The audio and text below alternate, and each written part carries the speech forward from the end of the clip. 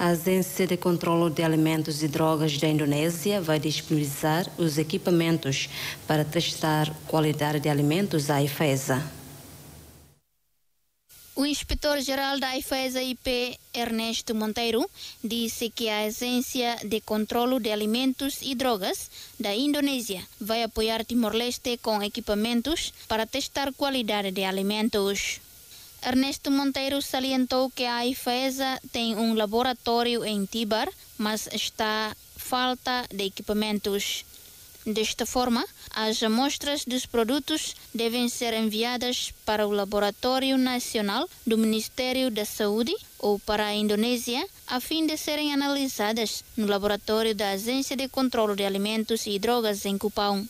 Recorda-se que o Ministério da Saúde enviou em abril para a Indonésia uma amostra do óleo da marca Symphony para testar a qualidade do produto por suspeitar de ser prejudicado à saúde pública.